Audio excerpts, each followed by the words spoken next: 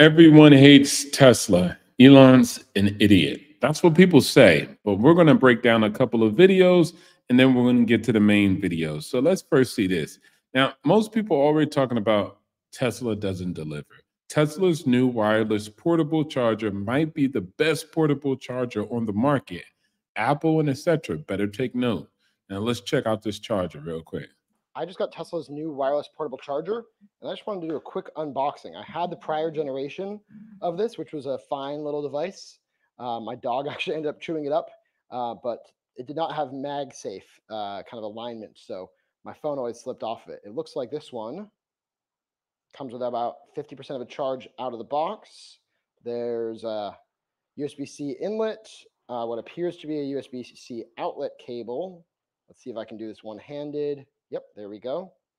All right, there's a USB-C outlet there and uh, docks for two devices. So I think I can charge my headphones, my AirPod headphones down here.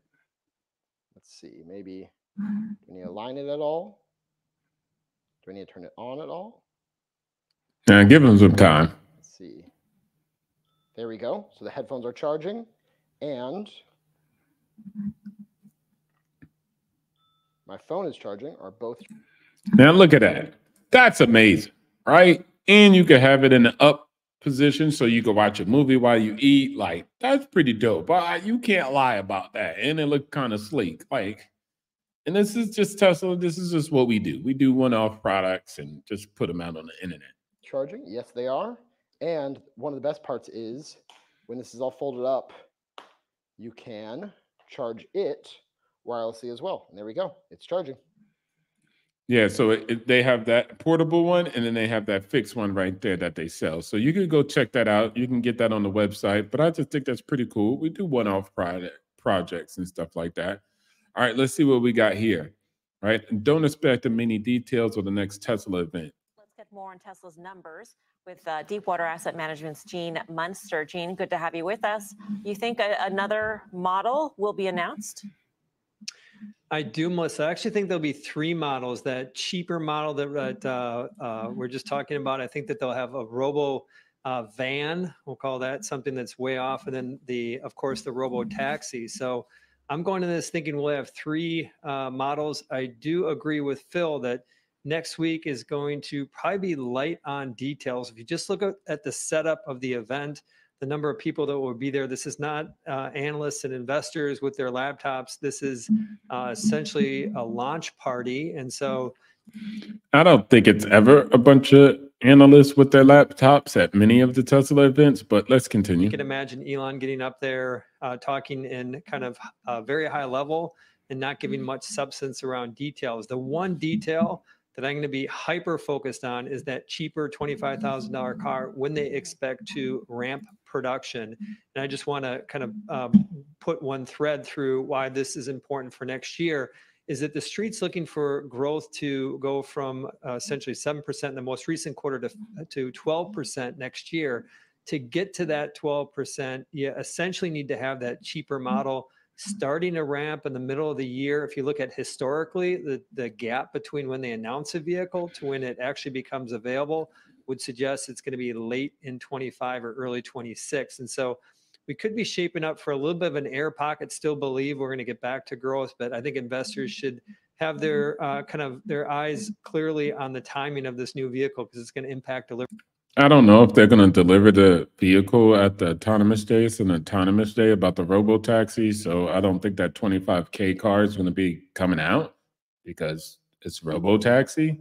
So again, but a lot of analysis or analysts allegedly, they don't know what they're talking about a lot of the times. They're pretty old school. It's baked into revenues, it's baked into profits, it's baked into margins. And yeah, and you could see if that timing gets slipped. I'm a big believer in Tesla. I think that growth, uh, deliveries growth will ramp into the 20%, but I just think people should have a, a level head in terms of what 25 looks like. Gene, it's Tim. So again, are- yeah, we're not quite sure on, on what they're going to actually unveil. We'll see. But anyways, let's continue. You know, we'll see when the day comes, which is pretty soon here. So I'm super excited for the event, but we don't know what he's going to unveil. The one thing I, I respect the most about Elon mm-hmm. Musk, and he does more than anybody I've ever seen, and that is he goes all in. He doesn't just, you know, he takes every cent he has and he believes in it and he goes all mother in. He never mm-hmm. hedges his bet at all. The one thing That's facts. You know, Elon goes all in with his business at SpaceX. He goes all in with his business at Tesla. And we could just talk about those two primarily. And I think that's important. It's imperative that he actually put up or shut up. A lot of the wealth that Elon has is not even just liquid cash, it's all in his actual two companies, SpaceX and Tesla. Now, these are cops unveiling their cyber Tesla cars. And so Tesla vehicles, it's easy on management. You have a fleet, maintenance. I mean, this is going to be a good thing for the cops and the police department. Cut down on the fuel and it's more efficiency with fuel. So super happy to see that cops are taking on to the Tesla and it's an American made car. So let's get it involved with a lot of public institutions. Like, come on, it's American made car and it's made in America. It's the most American made car. And I think whoever holds that billet as the most American made car should get public contracts and get acquired by public entities. So yeah, that's just a simple bet, right? Whoever's the most main um, American made car in America should get the public contracts. And then this is very interesting. This goes down to people who say, Larry was talking about, you're saying Elon's an idiot. The guy is landing rockets, and who are you? This is what I say a lot of times when people just have a lot of negativity to spill about Elon. It's like, first of all, who are you? I want to, I'm going to let him say it. Elon doesn't know what he's doing. He's going to have to go out for money. We're, I'm really smart. I'm a, I work for the Wall Street Journal. And I said, who are you? And then also too, people who say that who don't work for the Wall Street Journal, these are just like normies, right? Like I twist doorknobs, I'm a carpenter, I'm a plumber. Hey, I'm a normie, I'm a software engineer. Like people say this that are just normies. This guy's landing rockets. You know, he's landing rockets uh, on on you know robot robot drone rafts in the ocean, and you're saying he doesn't know what he's doing. Well, who else is landing rockets? You ever land a rocket? Eh, okay, okay, you're telling me he's an idiot. I just want to know who you are so I know uh,